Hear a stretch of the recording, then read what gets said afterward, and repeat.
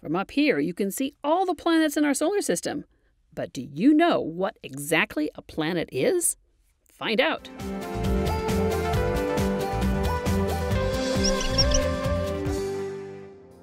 Mercury, Venus, Mars, Jupiter, and Saturn were the first space objects called planets.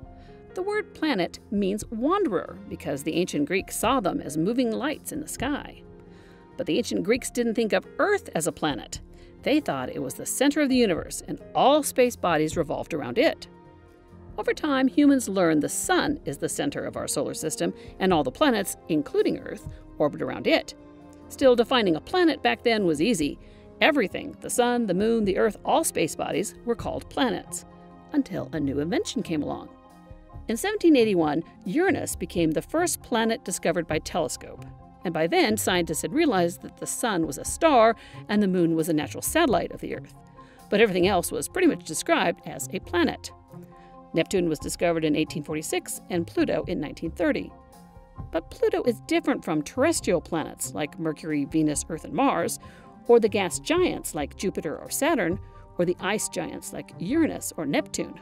Pluto is small, and its moon Charon is half the size of Pluto. It's so big that the two are sometimes called a double planet system. Pluto has an unusual orbit that sometimes brings it closer to the Sun than Neptune, and its orbit isn't circular like the other planets. Pluto is different, and that led to confusion.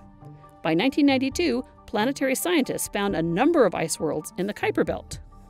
The Kuiper Belt is a donut shaped region in the outer solar system beyond the orbit of Neptune. And it's filled with objects made uh, mostly of ice, so water ice, but also methane and ammonia ice. Some of these objects are large enough that we would call them ice worlds. And some of these ice worlds in the Kuiper Belt, they look a lot like Pluto. And so astronomers were faced with this question uh, if we were going to call Pluto a planet, what were we going to call all these hundreds of thousands of other objects very similar to Pluto in the Kuiper Belt? So astronomers decided they needed to clarify what exactly is a planet. In 2006, the International Astronomical Union, a worldwide group of top astronomers, came up with a new definition. A planet is a celestial body that's in orbit around the Sun.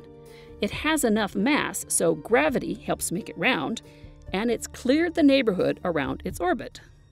So that means that the object has enough mass and enough gravity that it consumes or sweeps up other small bodies in its orbital path. And Pluto, since there's a lot of other objects out there, doesn't do that. It's just too small. So, what to do with Pluto? Astronomers came up with the idea of a dwarf planet. A dwarf planet orbits around the Sun. It has enough mass and gravity to form an almost round shape, but it isn't big enough to clear the neighborhood. It also can't be a moon. As of 2020, we have five dwarf planets in our solar system in order closest to the Sun out, they are Ceres, Pluto, Haumea, Makemake, and Eris. Ceres is the closest dwarf planet to the Sun. It's located in the asteroid belt between Mars and Jupiter, making it the only dwarf planet in the inner solar system. Next comes Pluto, then Haumea. Haumea has an elongated shape rather than being totally round, probably because of the speed of its rotation. Next is Makemake. Makemake has a moon and is a classic Kuiper Belt object. And finally, Eris. Eris is almost as large as Pluto and was once considered to be our solar system's 10th planet. Planetary scientists are still looking for dwarf planets. This is an active area of research. There may be another hundred of them in our solar system, and probably hundreds more just outside the Kuiper Belt. Not everyone agrees with the new definition of a planet. Some still think Pluto deserves that title. That's true, but the definition of, a planet may still change as we learn more about our solar system. And just because Pluto and Ceres and all those other objects are called dwarf planets, it really doesn't make them any less interesting. What we call them is, is almost the least interesting aspect of these objects, which have a fascinating variety of phenomena. It's just our current way of classifying one of the many wonders of space. If you want to learn more, head to the Science Trek website. You'll find facts, links, games, material for educators and parents, and much more.